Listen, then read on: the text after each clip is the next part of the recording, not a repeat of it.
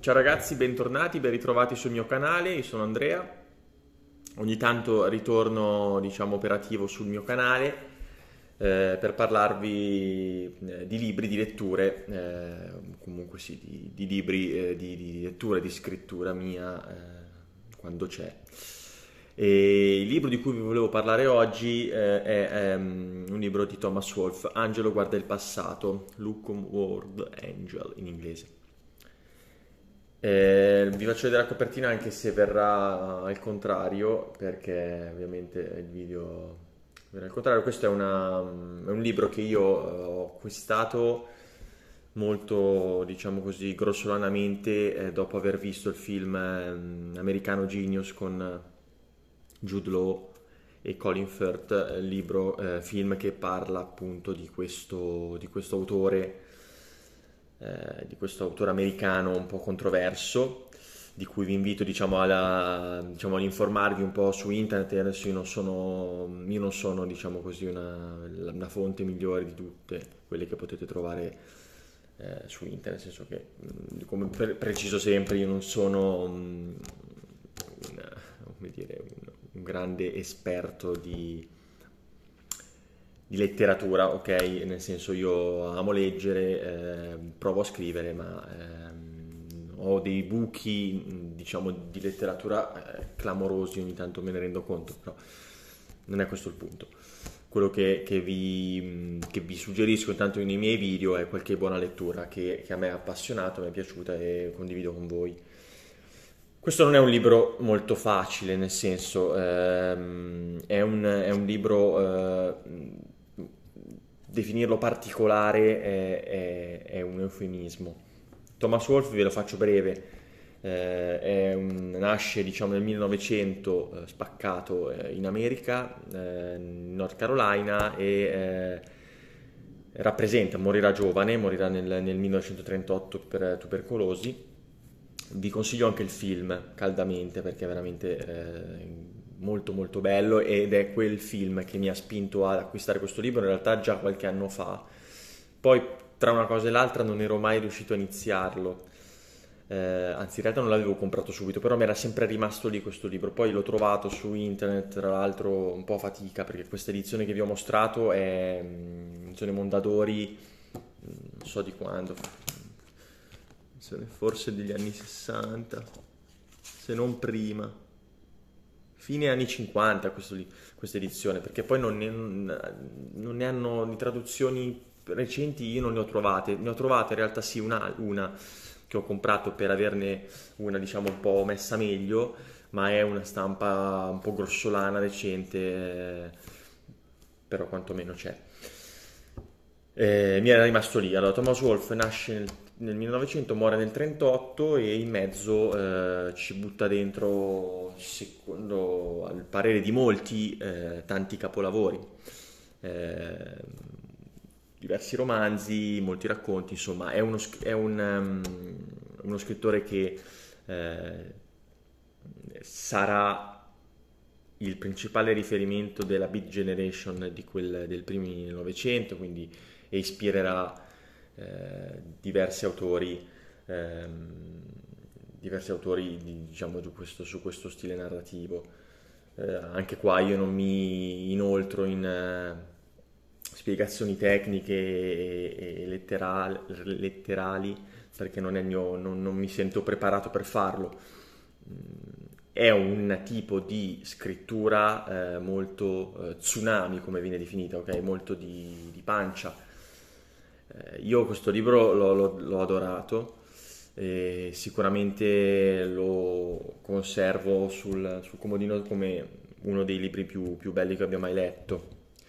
Eh, perché eh, Thomas Wolfe riesce veramente a un lessico eh, vastissimo, cioè ehm, veramente lascia di stucco la, il numero di, di parole, di vocaboli, di aggettivi con cui riesce a descrivere ogni minima cosa.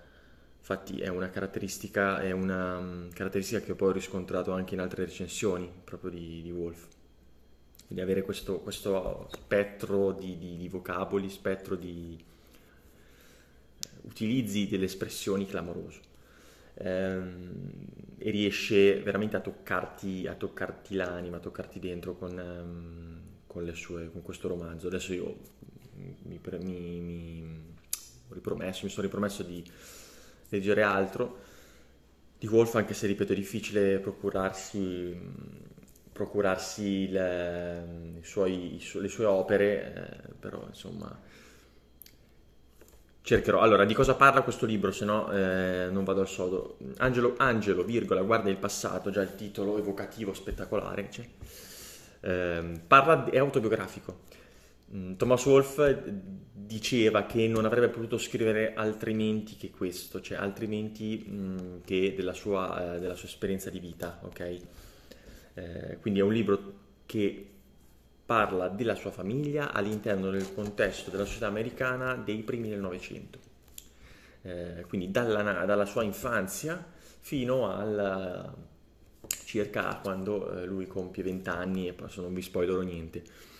Eh, quindi lui eh, fa una caricatura eh, della sua famiglia, anche se tanto caricatura non è perché a quanto pare la, eh, diciamo, era una famiglia abbastanza disastrata, abbastanza complicata, eh, complicatina, diciamo così, eh, dalla quale lui ehm, rifugge, anche se poi, ehm, diciamo così, non così facilmente come, come, vorrebbe, quindi rimane comunque sempre ancorato alla, alla, sua, alla, sua, città natale e ai suoi affetti. Padre mh, ubriacone, padre assente, la madre assente e eh, immobiliarista, quindi dedita agli affari più che alla cura della propria famiglia. Un, diversi fratelli e sorelle, uno morto, muore giovane, l'altro morirà anch'esso più avanti, fratello a cui lui era maggiormente legato e che è diciamo, uno dei pilastri, uno dei personaggi chiave di questo libro. Eh, ci sono tutti gli pseudonimi, ovviamente utilizza pseudonimi. Thomas Wolfe nel libro è Eugene Gant, Oliver Gant è il, il padre, Elisa è la, è la, madre, e poi ci sono le varie sorelle, fratello Ben. Tra l'altro questo non è uno pseudonimo, ma è il vero nome del fratello che, che, appunto morirà poi nel corso della storia. Questo non è uno spoiler perché è un po' la, la sua vita. È un libro autobiografico, cioè, quindi è fantastico per questo. Io trovo che mm, sono convinto ed è scontato che nei romanzi dei, di qualsiasi scrittore un pizzico, se non qualcosa in più della propria esperienza personale ci, ci vada a finire sempre. Nel caso di Thomas Wolfe questo è un libro totalmente, totalmente autobiografico, ma eh, capace comunque di catturarti e di entrarti dentro perché mh, riesce a raccontare eh, emozioni, scene, a descrivere mh, la vita. Io, ripeto, non ho eh, letto tutto quello che si può leggere, anzi avrò letto un millesimo di quanto esista sul pianeta Terra, di autori, di libri, eccetera. Però di quello che ho letto, Thomas Wolfe credo sia un fenomeno. Credo sia un fenomeno. La critica si è sempre un po', un po divisa, mi sono informato, alcuni lo, lo definiscono un genio, e io sono tra questi, perché secondo me leggete questo libro e ditemi se eh, una persona che scrive questo tipo di libro non è un genio. Per altri invece no, per altri è un, ehm, un, uno scrittore um, un po' altezzoso, che scriveva troppo. Questa è un'altra caratteristica di Thomas Wolfe, è mm, una scrittura eh, che viene definita a fiume, comunque a valanga, nel senso lui produceva eh, manoscritti di una, de, di una, di una lunghezza esorbitante e nel film viene anche ripreso questo tema gli editori dovevano poi andare a tagliare, a spezzettare, quindi questo Angelo guarda al passato sono 600 pagine, eh, ma erano in origine ancora di più. Eh, quindi per alcuni era semplicemente invece un...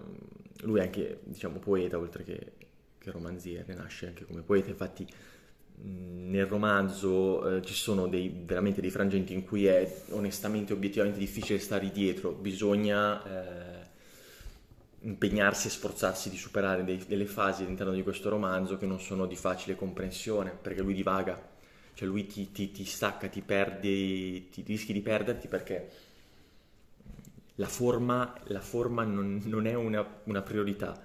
Questo, questa è la cosa secondo me più grande.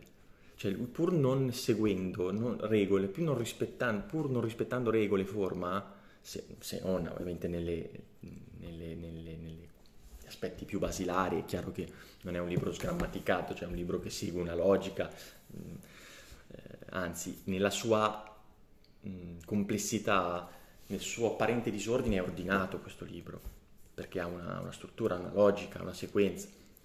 Però, eh, come si dice, ci sono dei punti di poesia pura in cui veramente si, si, si, rischia di perdere un po' il filo, ma io lo tro- trovo che questo è uno degli aspetti belli, eh, anzi un valore aggiunto del libro. Per alcuni è un po' un, un chiacchierone, un chiacchierone sopravvalutato eh, e, e, quindi non un, non un, grande autore come invece l'altra parte della parrocchia, diciamo, l'ha definito. Quindi per questo è un artista un po' controverso, che morirà appunto troppo giovane probabilmente. Eh, io non ho molto tempo, sono passati 11 minuti e ci vorrebbe veramente tanto tempo perché mi piacerebbe leggere anche vari passaggi straordinari. Eh, ve lo, ve lo consiglio caldamente. Detto questo io vi saluto eh, e vi rimando diciamo, al, prossimo, al prossimo video, chissà quando lo farò. Mi sto leggendo Gente di Dublino di James Joyce. Ciao a tutti, buona serata.